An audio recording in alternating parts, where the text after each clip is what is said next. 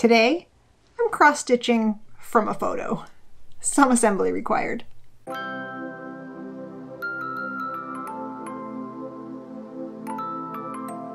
you may know, I am trying to teach myself how to cross-stitch. I tried a kit, which was pretty fun. I've made a few of my own patterns, kind of cartoony and simple, but cool, I, I think. Now I'm trying to see if I can make my own cross-stitch pattern based on a photograph. Let me know in the comments, what kind of cross-stitch do you like? Do you like the more cartoony, blocky kind of cross-stitch? Do you like something more realistic? Can I even make something realistic with tiny little X's of embroidery floss? Let's find out. I'm sure that there's an app or a program somewhere that can just turn your photos into cross-stitch patterns. Unfortunately, I'm convinced that I can just figure out how to do it myself. So that's what I'm gonna try. I picked a photo from a recent greenhouse trip. The camellias were blooming, which was just a really fortunate coincidence. We just went because it was still freezing, and we needed a little reminder about how nice plants are. I have decided to try my luck with this picture. It has a nice flowery shape some good contrast. I thought it might have the best chance of actually looking like a flower by the time I finished. Since I haven't found a cross-stitch app yet, and I probably should one of these days, I brought my photo into Procreate, added a grid pattern on another layer. There's a grid brush. I didn't draw each line individually. And then I filled in all the boxes with five different shades of pink and three shades of green. There was a lot of squinting involved. But wait, that's not all. Next, I taped two sheets of my graph paper together to transfer my big old pattern. Then I can just painstakingly transfer each tiny little box to the paper. I'm really hoping this is going to be worth it.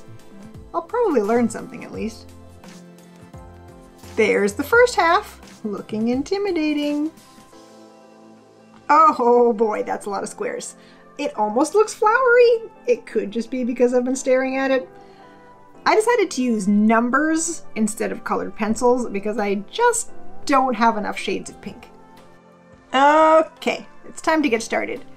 I picked out my colors from my stash and cut out my fabric, which looks so small compared to the graph paper, but that's okay. It doesn't have to be huge. Small should be more manageable at least, I think. I marked the center with this pin, and then I counted up and over to my starting point.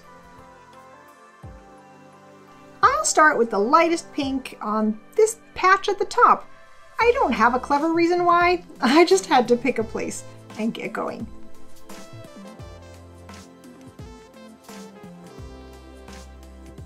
It begins! Here's the top of the first petal. The pink could be lighter, I guess, but at least it won't blend right into the fabric. Making progress! This is exciting! I have to very carefully follow the pattern or I get totally lost.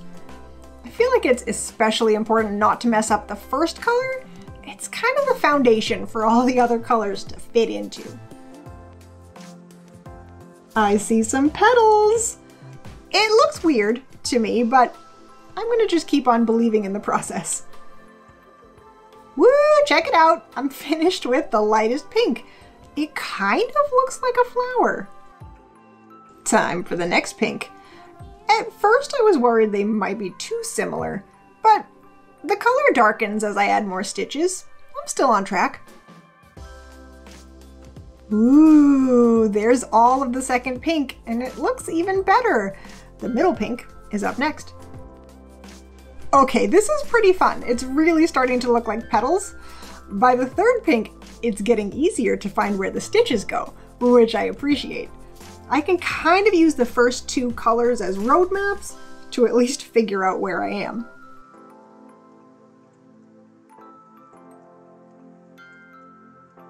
Woo! Here are the first three pinks. Now, let's see how it looks with the dark pinks. Hopefully still good.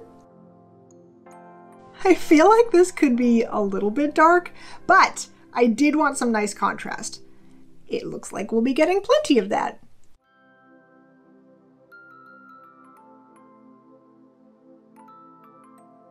And here we have pink number four. Only one pink left, and it's the very dark maroon. So I'll basically just be filling in all these little gaps. That shouldn't be too hard. Oh boy, and I thought the last one was dark, but it makes sense for my gradient. Keep going.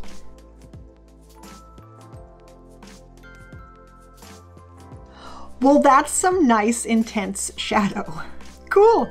Now all it needs are some nice green leaves. Hopefully that will make it look a little bit less like a random floating blossom in space. Here's the lightest green. It looks a teeny bit funny so far.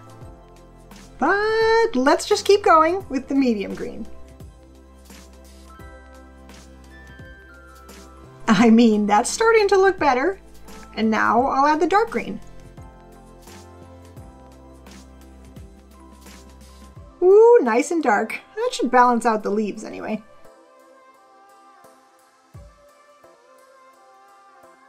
Let me just snip that last end and ta-da! That looks positively floral. That's about all I was hoping for, so job well done. Let me pop it in a frame and see how it looks. The matte kind of cuts off the edges and it might be a little too much white, but it will absolutely do for now. How about that? I can make up my own cross stitch pattern. Who would have thought? Now, I know that there is some sort of program that would totally 100% make my life easier. If you have any advice on which ones that you like or you've heard of, feel free to leave that in the comments and maybe I will try it next time. Because this works, but it could be quicker and a little bit less like, what color is that? I don't know. And what do you think I should cross stitch next? Let me know in the comments. I hope you enjoyed this video. If you did, feel free to give it a thumbs up. If you like this kind of video and you're not subscribed yet, do that right underneath the little video box and click the all notification button so you don't miss anything.